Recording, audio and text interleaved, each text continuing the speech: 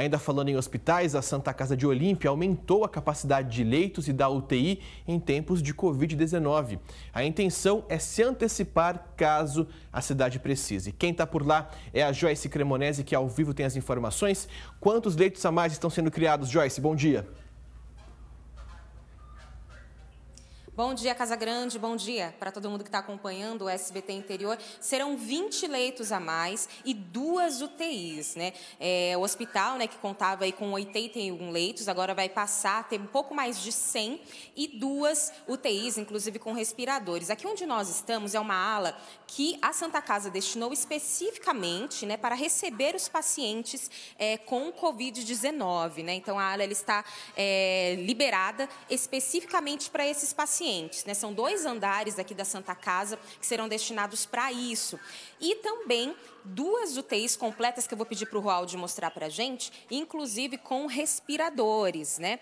Então, essa foi a estrutura que a Santa Casa aqui de Olímpia né, já está se antecipando, né, juntamente com a Prefeitura, que inclusive liberou mais 345 mil reais, tudo para que a cidade possa se antecipar. Eu conversei mais cedo com o vice-prefeito, Fábio Martinez, que contou para a gente as ações da Prefeitura nesse sentido aí no combate contra o coronavírus. Vamos ouvir.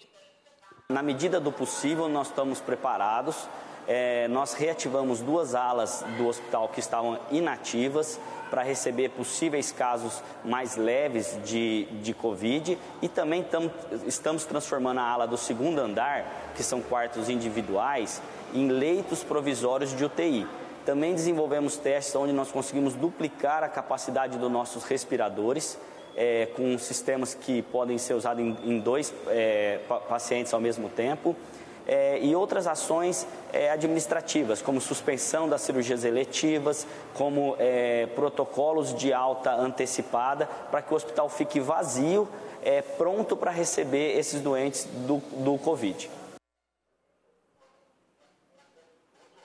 Essas duas alas, elas estão mesmo né, liberadas aqui do hospital, especificamente para atender esses pacientes, que, aliás, a Santa Casa aqui de Olímpia, ela atende aí uma população de aproximadamente 100 mil pessoas, né? São as cidades aqui do entorno, né? Então, precisa mesmo se antecipar e pensando nisso, o vice-prefeito adiantou para a nossa equipe que eles já estão conversando, inclusive, com as pousadas da cidade. Caso Olímpia tenha aí é, um grande número de pacientes, eles podem, inclusive, utilizar as pousadas Vamos ouvir.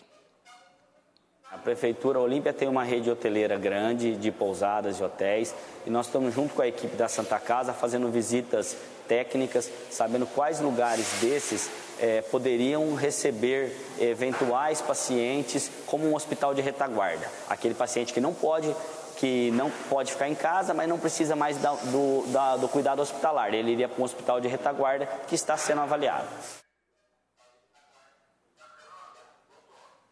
Então a gente vê né, a cidade aí se antecipando e as demais pessoas, né, muitas vezes que precisam é, de algum tipo de internação por conta de outras enfermidades, né, 20 leitos serão disponibilizados, mas no andar de baixo, no primeiro andar do hospital, uma ala ainda está em reforma, né, e nos próximos dias já deve ficar pronta.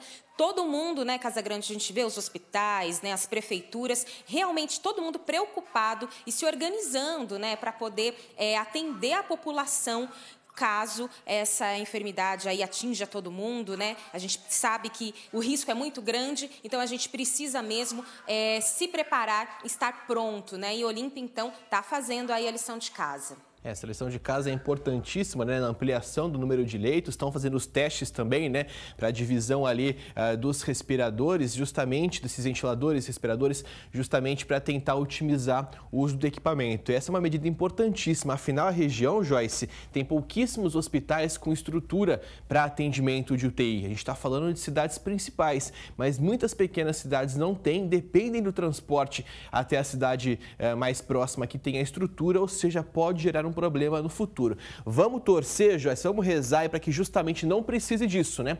Para que justamente não precise de toda é, uma, uma, uma, mobilização maior, que os nossos leitos não fiquem sobrecarregados e que a gente passe dessa de maneira bastante rápida e de maneira é, menor impactante possível. Obrigado, viu, Joyce, pelas informações ao vivo aqui no nosso SBT Interior.